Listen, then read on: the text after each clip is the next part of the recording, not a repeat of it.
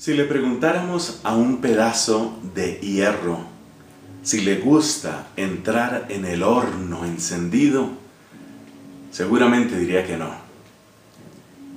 Si le preguntáramos a la arena si le gusta entrar en el horno encendido, así sea para volverse hermosísimo vidrio, seguramente diría que no. No nos gusta entrar en el crisol y sin embargo es allí de donde surge la pureza, es allí donde brilla con más fuerza la luz y es allí donde somos verdaderamente transformados. Por eso también Jesús dice a sus apóstoles en alguna ocasión que cuando un sarmiento, es decir, una rama de la vid, produce fruto, tiene que ser podada. Y si le preguntáramos a un sarmiento de la vid, ¿te gusta perder algunas hojas y ramas?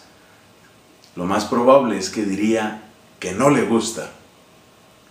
Pero a través de esa poda se concentra mejor la savia y a través de esa poda se fortalece, se embellece y da mejor fruto.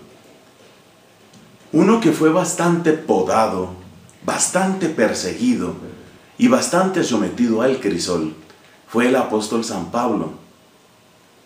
Las distintas clases de persecuciones que tuvo que padecer, no solamente por los peligros naturales que incluye un viaje, peligros de salteadores, peligros de naufragios, peligros de piratas, peligros de perderse o de no encontrar suficientes recursos.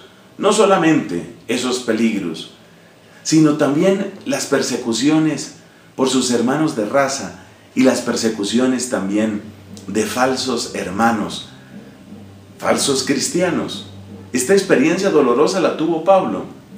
Y es muy interesante la segunda carta a los Corintios en estos capítulos 11 y 12 que estamos leyendo estos días porque nos permiten como asomarnos al crisol, mirar lo que está sucediendo allí, ver cómo un corazón aprende a desprenderse de todo y aprende a aferrarse más a Dios.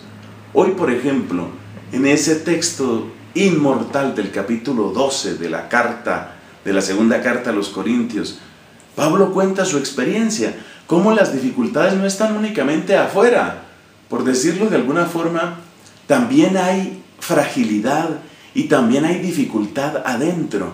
Entonces Él cuenta de su propia dificultad, Él cuenta de sus trabajos, de sus tentaciones y de cómo ha querido verse libre también de ese dolor.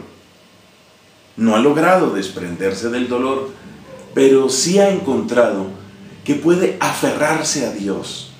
Por eso el crisol el momento de la prueba, el momento del sufrimiento se vuelve valioso, porque es el momento para encontrarse, es el momento para aferrarse al Señor, es el momento muchas veces para desechar los ídolos, así como Israel en el desierto, que fue su crisol, tuvo que desprenderse de muchas cosas, pues así también nosotros, en medio de sufrimientos, en medio de dificultades y desconciertos, seguramente podemos aprender también a apegarnos más a Dios.